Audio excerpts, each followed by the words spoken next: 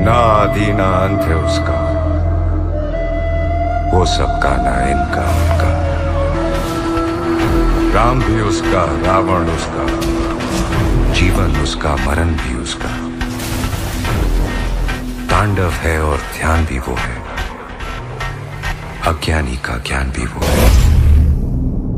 वही शून्य है, वही गाय जिसके भी